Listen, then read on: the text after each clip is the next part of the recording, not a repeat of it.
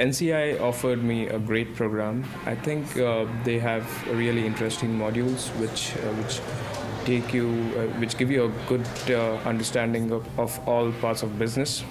Uh, the faculty is very experienced. Most of them are PhD holders. They they are actual working professionals and, and they have tremendous experience in the industry. And the second thing was uh, the program and the curriculum. It's more focused on the application part. It's designed in a very nice way.